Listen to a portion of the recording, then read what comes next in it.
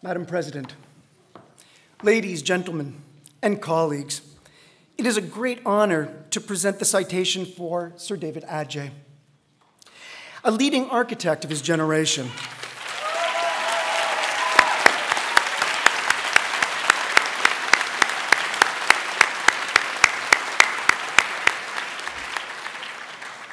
Sir David has been rightly described as a visionary of our time. He received an OBE in 2007, topped the 2013 Power List of Britain's most influential black people, and in 2016 he was awarded both the coveted Panerai London Design Medal and the MIT McDermott Award in the Arts. Sir David is the only architect named among Time magazine's 100 most influential people in 2017 and he was knighted earlier this year for his outstanding services to British architecture.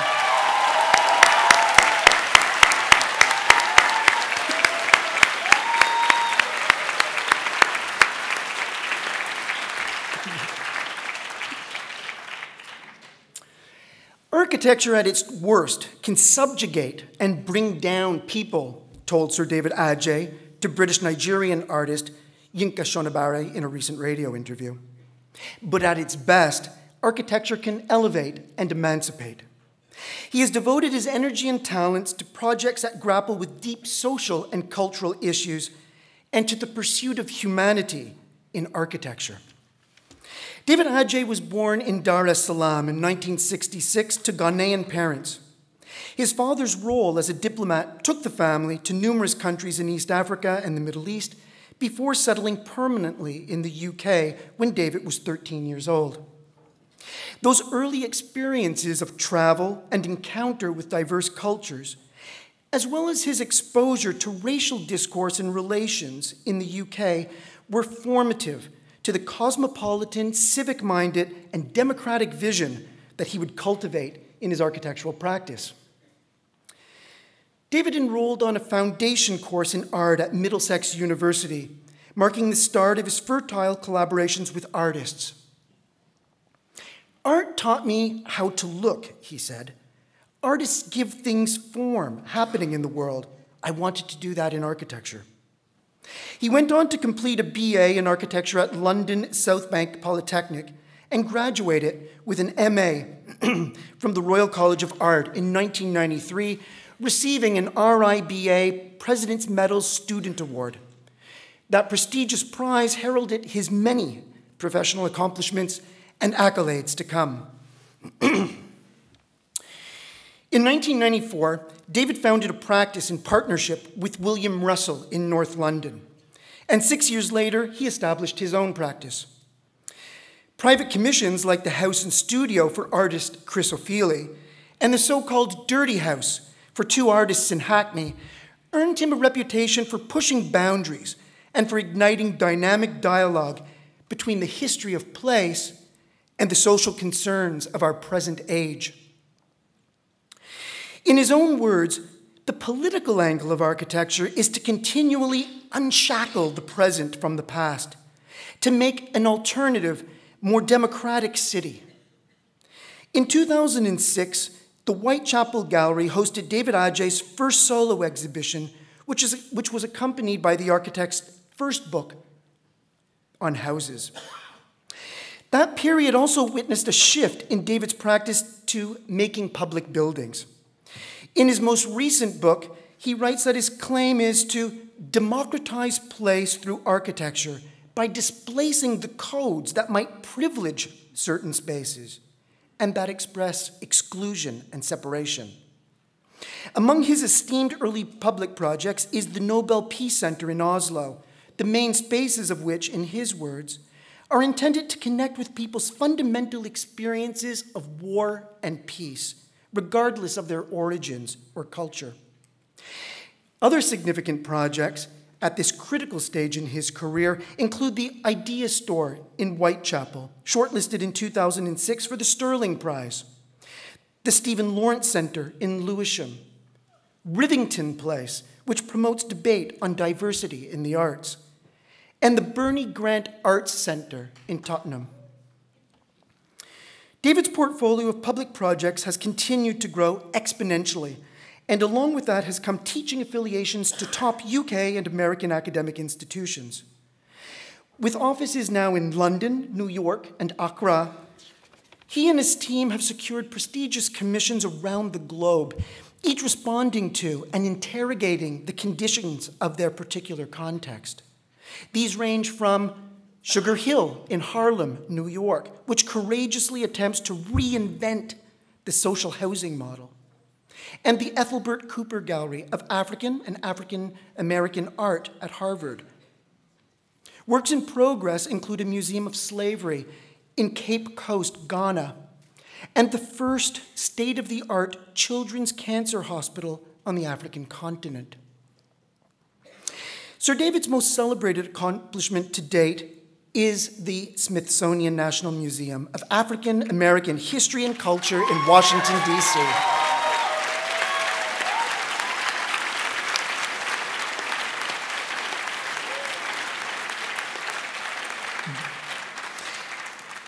It was opened in 2016, September, by President Obama.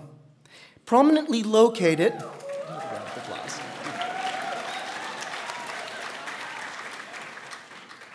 Prominently located on the National Mall, the Sacred Heart of America, this sculptural bronze clad museum not only narrates the contribution of African Americans to the making of the country, but its form, program, and aesthetic expression embodied the story of black modernity. That story, claims Sir David, starts in Africa. Africa, for David, is an incredibly rich resource that he keeps going back to for inspiration. Over a period of 11 years, he made multiple journeys there, visiting and visually recording the continent's diverse towns and cities. This offered opportunity for David to contemplate the mutations of modern architecture and hybridizations in response to conditions on the ground, including geography and climate. In his own work, David freely integrates hybrid elements that make his buildings more accessible to a wider public. This is exemplified by the crown like superstructure of the National Museum in Washington, which draws its inspiration from Yoruba sculpture, and by the bronzed latticework that sheathes the building, recalling the ornamental ironwork of New Orleans and Charleston, wrought by African American craftsmen. He published his reflections and findings on African urbanity in a seven volume set Adjaye Africa Architecture. David hopes it will serve as a reference source for developing appropriate planning and building strategies for Africa's rapidly growing cities. He embarked on the study, he writes, because I felt that Africa was often seen as an exotic place that had become disconnected from the rest of the world, a troubled continent that had little to offer Having been brought up there, I saw it rather differently as a place where every possible variant had been produced and every relationship had been contested. His deep respect for Africa and his recognition of its vast potential resonates powerfully with SOAS scholarship. So too do Sir David's broader investigations of such issues as diaspora, social division, history, democracy, context, and placemaking. In this brief citation, I hope to have communicated the strong alignment that exists between Sir David Adjaye's work and passions and SOAS's mission as an institution of teaching and research excellence. On behalf of the school, I thank Sir David for attending today's graduation ceremony. The SOAS community looks forward to a future of close collaboration with you in the search for democratic solutions and sustainable strategies to the world's political, social, economic, and environmental challenges, which are great today. Madam President, it is my privilege now to present Sir David Adjaye for the award of fellowship of the school and to invite him to address this assembly.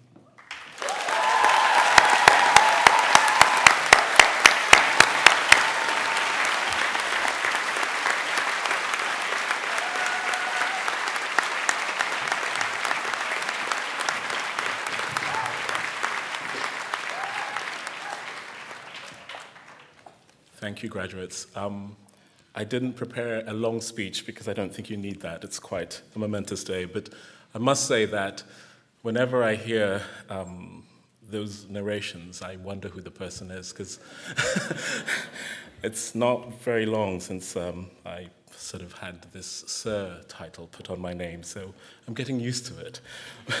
but um, being here today, I remember the time when I was in the crowd, um, eagerly anxious to shake the president's hand and to acknowledge my family, acknowledge to my family that I'd made it, I'd graduated.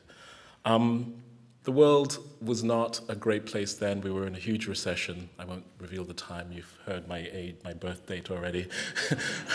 um, but you know, in a way, the world is always in turmoil, and we're in a very strange world now that you come into. Um, when I started, the most important things were the, the, the things that I learned from the institutions that I loved, my friends, and the incredible relationships that I made with my colleagues. And um, as I charted a course in the world, um, sometimes not sure exactly why I was doing what I was doing, but being emboldened by the conviction and the connections that I'd made and the ability to have continual dialogue, reciprocal relationships with colleagues who tutored me, helped me, and friends who I grew up with who formed my intellectual core, formed the, the soup in which um, I continue to thrive to this day, and I'm thankful for. Um, I just want to encourage you that this, you know, it's a special time, but it's really an incredible time. The bonds that you're making now will probably last your lifetimes. Um, and those bonds will guide you and be there when the world is troubled and when you are in trouble, because there will be trouble. Um, I had many, you know, the story edits out nearly going bankrupt, having trouble with clients, nearly being sued, nearly being taken to jail for, you know, trying to push things. Those are the things that don't get mentioned. But it's, it's, a, it's a bumpy road, but I just urge you to, you know, use the moral compass that you are forging now that should be your North Star. I'm truly honored to receive this honor with you today and truly happy to be graduating with you, as it were. Thank you.